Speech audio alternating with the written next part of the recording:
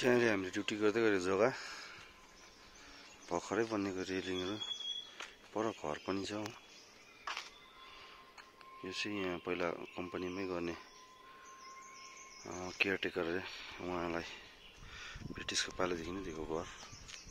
हामीले गर्दै गरेको बिल्डिङ चाहिँ यो ड्युटी गर्ने।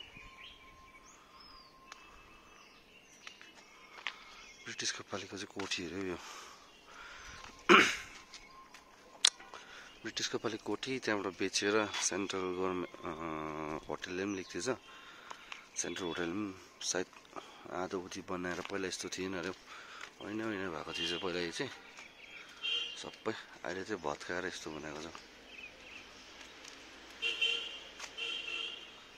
अहिले बनिन्छ अब यो फाइभ स्टार बनिने हो। वर्ल्ड होटेल क्र्याकर्स दिल्लीको छ अहिले। साइलाबास जाने बाटो चाहिँ। यो चाहिँ साइलाबास जान्छ?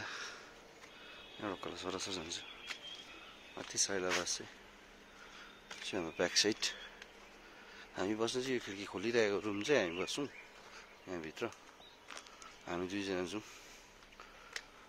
मजाको जग्गा त एरिया त यहाँबाट दार्जिलिङ पनि देखिन्छ क्लियरली दार्जिलिङ भ्यूहरू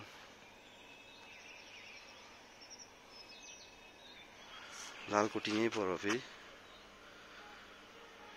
सबै लालकोटी हो यिनीहरू।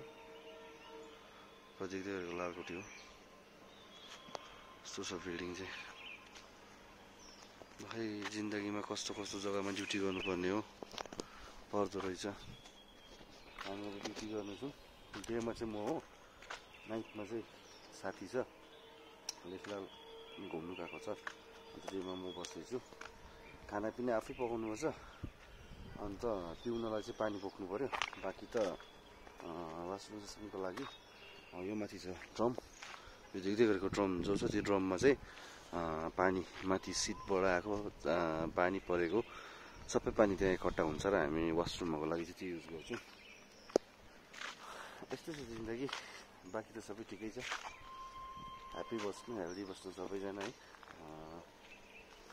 बाई